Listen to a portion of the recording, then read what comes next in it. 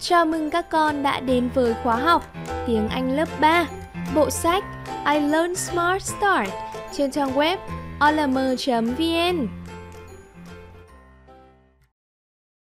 Unit 2 My Family Lesson 2 Trong tiết học trước, chúng mình đã tìm hiểu về các thành viên trong gia đình. Bây giờ chúng mình sẽ cùng ôn tập lại bài cũ qua bài tập sau đây.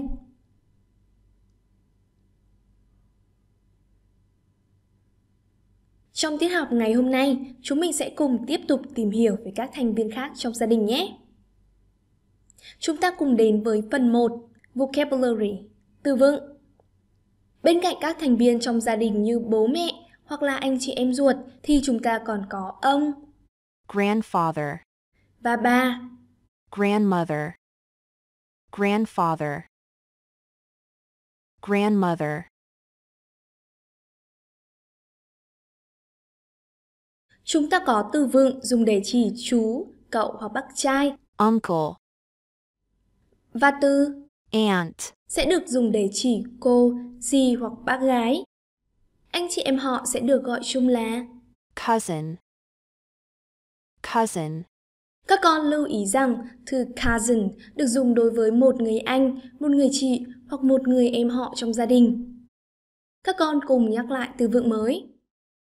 Uncle Aunt Cousin Cousin Các con hãy quan sát sơ đồ thể hiện mối quan hệ giữa Lucy và các thành viên trong gia đình của bạn ấy, rồi hoàn thành chỗ trống từ 1 đến 6 nhé. Cô khen chúng mình rất hiểu bài. Chúng ta có đây là Lucy và mối quan hệ giữa các thành viên trong gia đình của bạn ấy như sau. Đây là ông và bà. Bên cạnh bố chính là mẹ, chị gái và anh trai. Phía bên này chúng ta có thể dễ dàng nhận ra người này chính là bác trai, cậu hoặc là chú của Lucy. Và bên cạnh, người phụ nữ này sẽ được gọi là bác gái, cô hoặc là gì. Và cuối cùng, đây là anh chị em họ trong gia đình. Chúng mình cùng chuyển sang phần số 2, Structures, cấu trúc. Con hãy quan sát tình huống sau. Hôm nay Alice đã mời Tom đến nhà mình chơi. Khi đi qua khu vườn, Tom đã thấy một người phụ nữ và bạn ấy đã hỏi Alice rằng Who's she? She's my aunt. What's her name? Her name's Doris. Khi vào nhà, Tom lại thấy một bé trai rất đáng yêu đang ngồi chơi. Bạn ấy lại tiếp tục hỏi Who's he? He's my cousin. What's his name?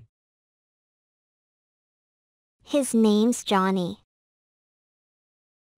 Khi muốn hỏi xem anh ấy hay cô ấy là ai, bạn Tom đã sử dụng cấu trúc Who's she? Who's he? Và chúng ta có whose là cách viết tắt của who is. Để trả lời cho câu hỏi này, các con hãy áp dụng mẫu câu. His cộng với thành viên trong gia đình là nam. Ví dụ, he is my uncle. Và cách trả lời số 2, con hãy sử dụng cấu trúc she's cộng với thành viên trong gia đình là nữ. Cô ấy là bác của tôi. Con hãy áp dụng cấu trúc này để trả lời câu hỏi sau đây. Who's he? Who's she? Qua những bức tranh này, chúng ta đã có câu trả lời đó là He's my grandfather. Ông ấy là ông của tôi. She's my cousin. Em ấy là em họ của tôi. Chúng mình cùng nhắc lại. He's my grandfather. She's my cousin. Ngay sau khi nghe Alice giới thiệu về các thành viên trong gia đình, Tom đã hỏi tên của họ qua cấu trúc. What's his or her name? Tên của anh ấy là gì? Tên của cô ấy là gì? Chúng ta có từ was là viết tắt của what is.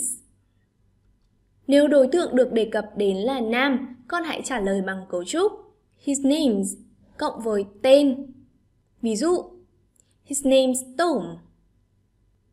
Ngược lại, nếu đối tượng được nhắc đến là nữ, con hãy áp dụng cấu trúc Her name's cộng tên của cô ấy. Her name's Alice. Ở đây ta có names là cách viết ngắn gọn của name is.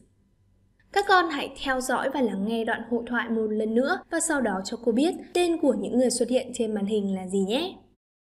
Who's she? She's my aunt. What's her name? Her name's Doris. Who's he? He's my cousin. What's his name?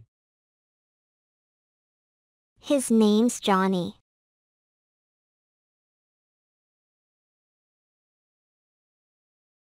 Cô khen chúng mình đã làm rất tốt và chúng ta sẽ có đáp án lần lượt như sau. His name's Johnny. Tên của anh ấy là Johnny. Her name's Doris. Tên của cô ấy là Doris. Chúng mình cùng chuyển sang phần số 3. Phonics, ngữ âm. Trong bài học ngày hôm nay, chúng ta sẽ luyện tập với âm.